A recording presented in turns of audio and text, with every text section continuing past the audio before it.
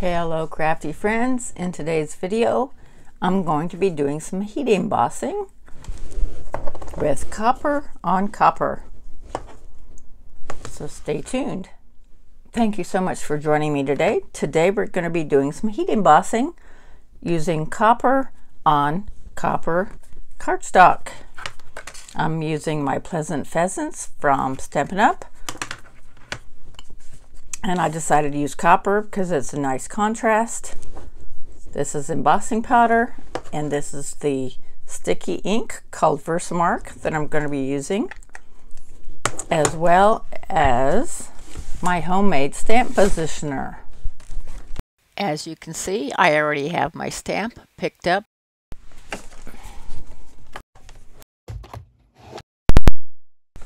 I'm going to be putting this in the corner.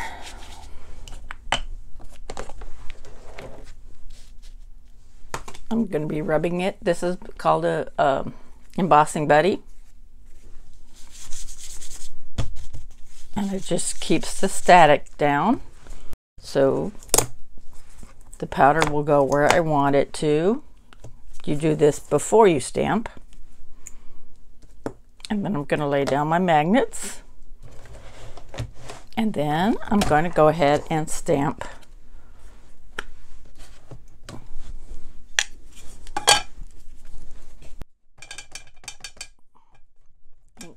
ink my stamp.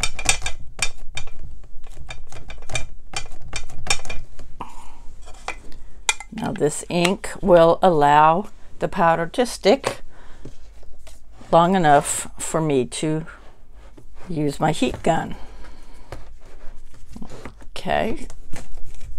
This is my Chucky tool.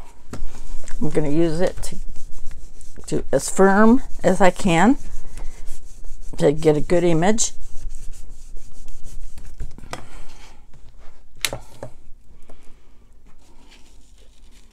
Okay.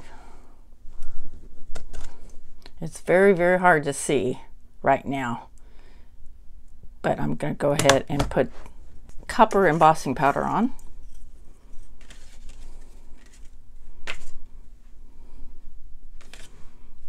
Just cover it up generously because you will put it, be putting it all, most of it back into the jar. It lasts a long time. There. And it looks pretty perfect. I just tap, gently tap.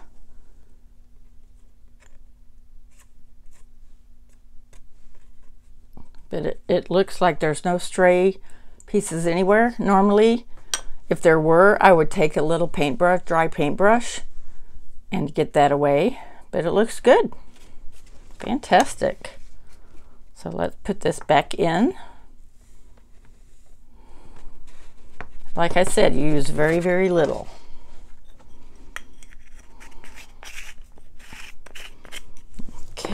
Get this out of the way and heat up our gun as well as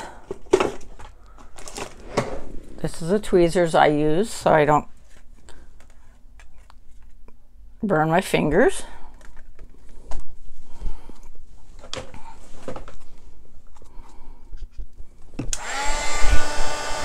Get it really hot and it'll turn colors very quickly.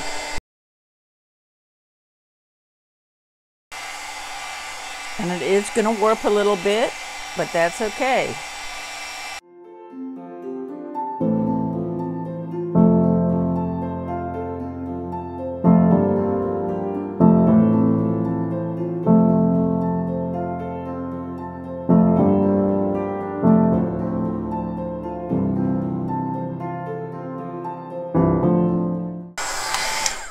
And voila! There's our piece.